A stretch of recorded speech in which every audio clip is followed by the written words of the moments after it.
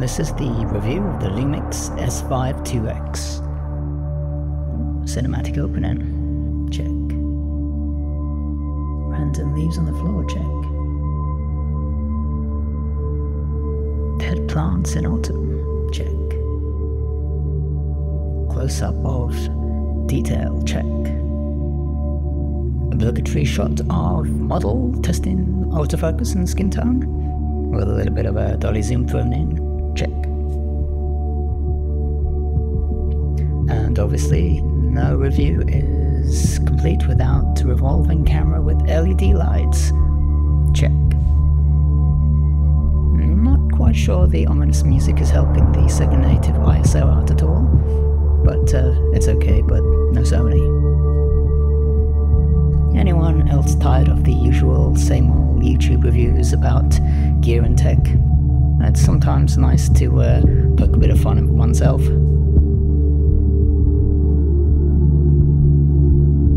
Yeah, I'm tired of London. Let's get out of here. Maybe some cheesy sloppy music will Improve the image quality.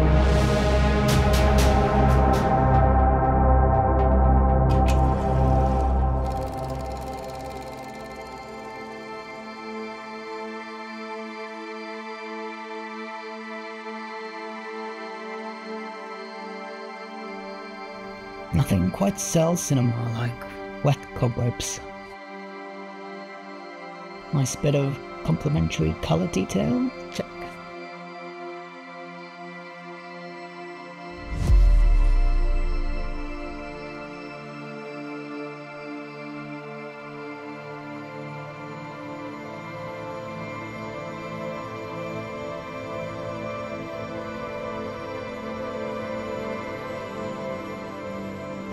It is actually nice that Lumix allow you to use your existing EF glass to use eye autofocus with their phase detect, so yeah, it's a big win. Anyway, enough of that. Moving on. Oh wait, back to the drama. This was lit with a single LED tube, second native ISO, someone photobombing my shot. A bit more of a narrative feel on this one. Are we reaching cinematic heights yet? Shot on a bench. Second native ISO isn't as clean as a Sony, it's a little bit noisy, but colors rendition is still good. I've not denoised so you can pretty much see what you can get if you decide to shoot in very low light circumstances. There's a bit of lighting on the subject, but yeah, and difficult in the rain and uh, kind of atmospherics that was going on that evening. But uh, yeah, judge for yourself.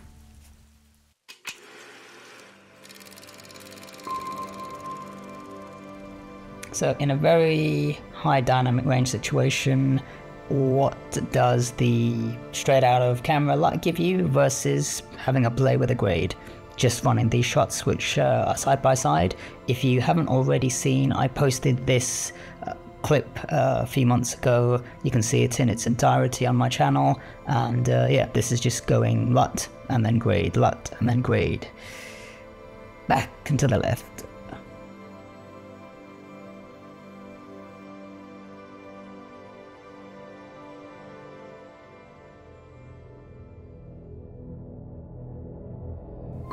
Oh, back to a little bit of a handheld drama. I used the MC21 adapter from Sigma, was able to use it with all my lenses uh, that are EF, and they all worked reasonably well. If this video does well, I'll post all the versions and lenses that I did in another video. I did the 85, the 24 to 70, the 100 to 300, uh, amongst others. And yeah, I was pretty happy with the results. Obviously, on this shot, it just locked onto the jacket and lost the eye or the focus. but uh, other than that, the uh, other shots did work pretty well. Again, threaded throughout this video, you'll see shots of the 35 1.8 Lumix uh, lens. These shots are graded, so take that with a pinch of salt. And the 50mm tracking with the MC21 adapter. Here we have the LUT and just pushing the colors a bit wildly in the grade. Not necessarily something I would do, but just to show a little bit of the codec and how it handles. 6K open gate. I didn't really test this mode particularly well. It'd be great for socials, for anamorphic shooting, and multiple outputs.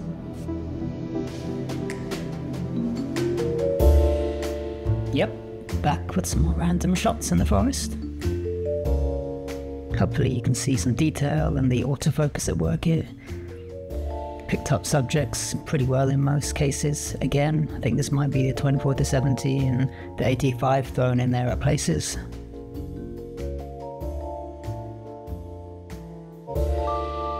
Here we see a high dynamic range shot, log footage, then the LUT, and finally a bit of a play on the grade. Noise wasn't fantastic on this shot, but yeah, and also the autofocus, it didn't lock until the third take, which when I started direct to camera, it picked up.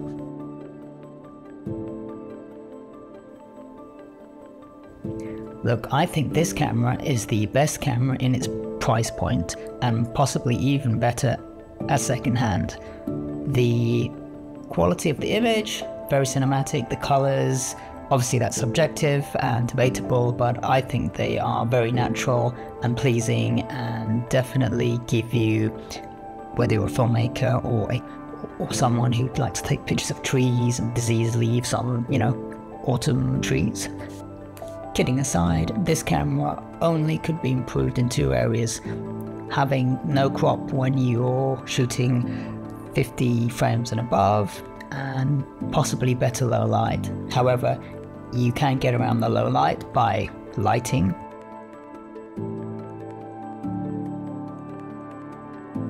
There's just no getting around the features that the cameras offer us in the 6K open gate, the anamorphic de-squeeze, the stability that the camera has, the EF glass that you can use via the MC21 adapter, the shutter angle. I mean, there are cameras twice its price that do not come with these features.